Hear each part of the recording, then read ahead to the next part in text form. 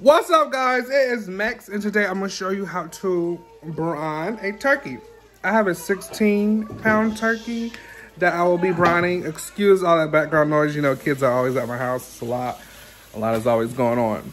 So for your ingredients to brine your turkey, you're to need vegetable broth, bay leaves, kosher salt. Make sure you have kosher salt. Kosher and not regular table salt. Peppercorns. We have some allspice berries.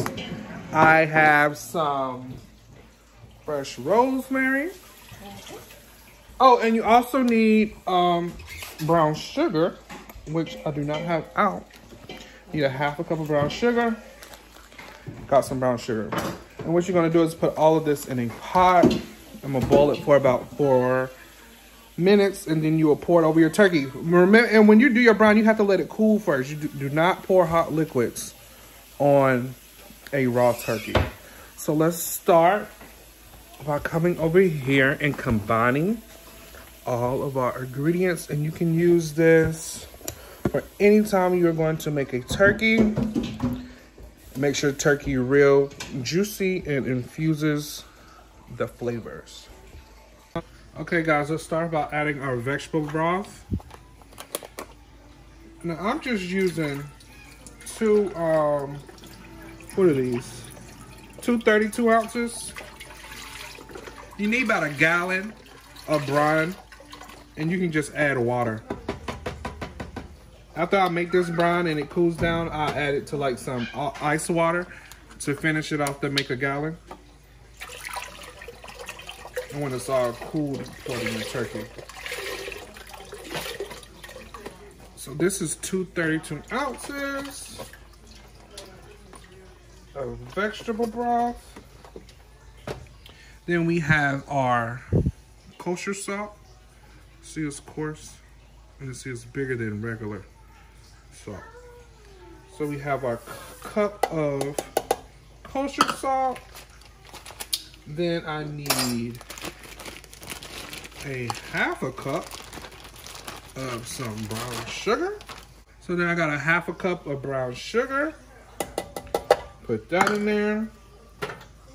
We are going to use a tablespoon of peppercorns. Get those. Got my peppercorns in there.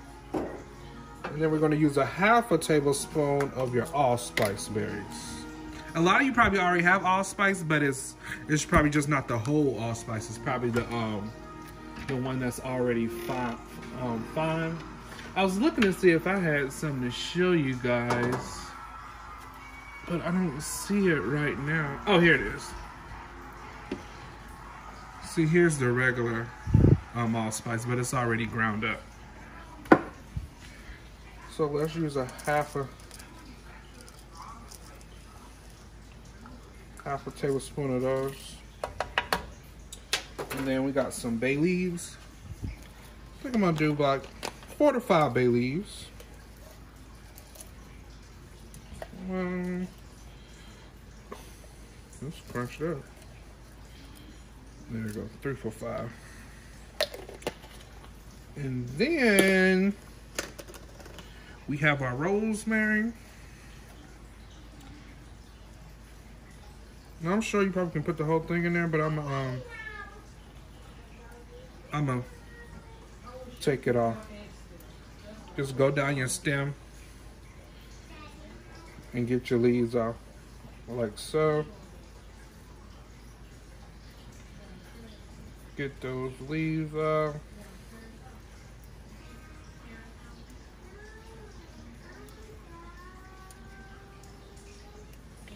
Let me get my other one. Now some other things that you could add in your brine is oranges. And I don't have any. Um, you also put, some people put cloves of garlic in theirs. But I'm actually, when I like, after I brine my turkey and tomorrow when I'm gonna cook it and season it up, I'm gonna use some garlic. So that's why I'm not using um, any garlic in my brine. So now we need to stir this up, guys. We're gonna let this come to a boil. Can you see that? You're gonna let this come to a boil. I'm gonna let it boil for like five minutes. You want your salt and sugar, everything to dissolve. And all those flavors to come out. So let's let this boil for about five minutes. Okay, our brown has been boiling about five minutes.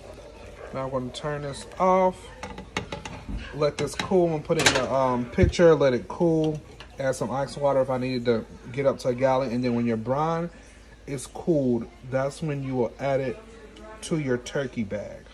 So put it in your, um, you know, I use the turkey bags. Let me show you what I use so you guys know what to get. The turkey bags right here that you use for the oven when you cook a turkey. Put your turkey in a turkey bag. Add your brine when it is cold, when it's cold. And you can brine your turkey for 10 to 24 hours overnight. Take it out the next morning, let it dry off. Add whatever seasonings you want, your turkey rub or whatever. Then you cook your turkey in the oven, smoking on the grill. And that's all to it, guys. Very, very, very simple. Very simple to make a turkey brine. That's all you have to do. Catch me on the next video. And I am out. Thank you, guys.